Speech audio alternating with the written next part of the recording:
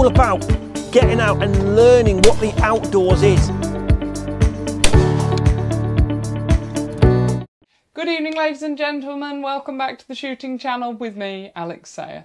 First up, let's welcome our special guest for this evening, the chairman of the CPSA, Mr. John Martin. This weekend saw the conclusion of the CPSA's major championships for 2020. And as always, we kept the best for last and held the British Open Sporting and Sportrap at Garlands. David Ferriman won the title after a shoot off with George Digweed. George said afterwards that it was good to see some new names starting to appear on the trophy. Uh, Tanya Folds took the ladies' title on 68, just pipping Amy Eastman and Hannah Gibson, who both finished on 67. So there we have it the end of our COVID constrained championship season. And yes, it was different. We had to make compromises and changes. We had to cancel all of our selection shoots and all of the home international championships. But we managed to reorganise and stage a remarkable number of events. The whole structure of clay shooting almost lends itself to social distancing and COVID compliance. reality was that we could get back to our competitions in a very similar way to that in which we'd always staged them. Yes, we had one way systems. Yes, we had signs reminding people about social distancing. We had sanitation stations, and our staff had to wear face shields when booking people into competitions. But hey, DTL could have been designed for social distancing. No one really socialises at a serious skeet competition, and in English sporting, you put a shooter in a stand and then you all stand back and watch them.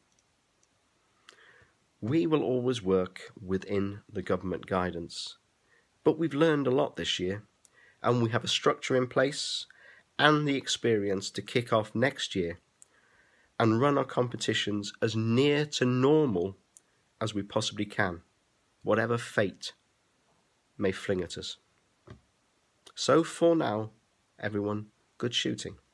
And until we meet again, stay safe and stay sane. Thanks for that, John. Really informative. And it highlights how ideal our sport is at these times. If you aren't a member of the CPSA already, head over to their website in terms of competitions for youngsters, remember the Schools Challenge, which gives young people the chance to get safely involved with guns, make friends, and get outdoors. It also helps them to concentrate and to focus. Do tune in into our Thursday feature here at half past seven. Like and subscribe if you haven't already, and that way you can keep up to date with the latest shooting conservation news. There's more for the young shots with BASC. Obviously, we know how important it is to get young people involved with the sport, so let's make the most of the opportunities that this industry is providing.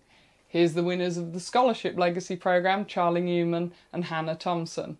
Nearly half of the applicants choose a conservation themed course, others gamekeeping. Speaking of conservation, the figures are out for the hen harriers, and I can confirm in no uncertain terms that this year saw 19 successful hen harrier nests, producing over 60 chicks. This is a fourth increase in a row, and 12 of these nests were on grouse moors.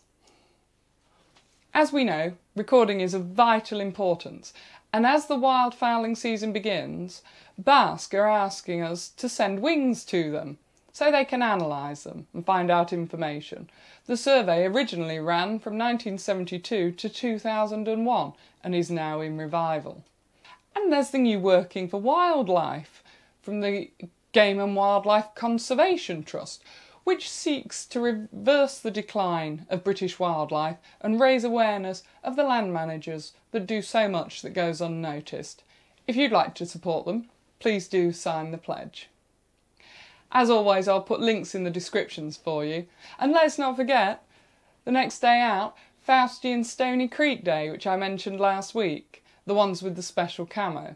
That's coming to the Oxford Gun Company on the 25th and the 26th of September. If you've got any events that you'd like advertising on this channel, or anything that you'd like me to report, please do get in contact. Alex at theshootingchannel.co.uk.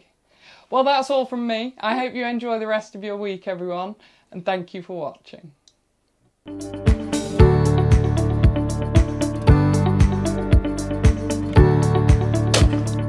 Share to your friends and have a look at what other films we've done. And it's all there to try and encourage you to get into shooting this great sport.